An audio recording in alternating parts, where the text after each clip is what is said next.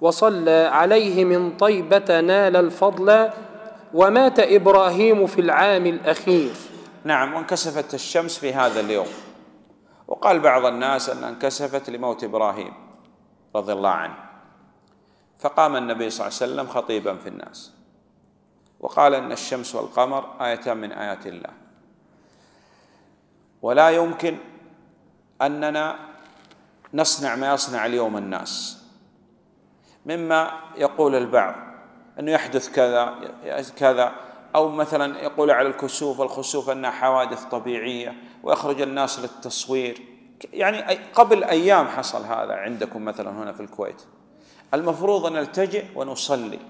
نلجأ إلى الله سبحانه وتعالى بالصلاة والاستغفار والصدقة حتى يكشف الله سبحانه وتعالى ما نزل هذا الذي نزل. أما أننا يعني نخرج للتصوير وما سمعتم وهذا لا يمكن يتكرر ويصبح اللون كذا. نسأل العافية والسلامه إخواننا هذه السيرة. إحنا نريد بدراستنا للسيرة العمل بسيره النبي صلى الله عليه وسلم. لأنهم أرادوا إخراجنا عن هذه السيرة. بما ترى وتسمع في هذه الأيام. نعم.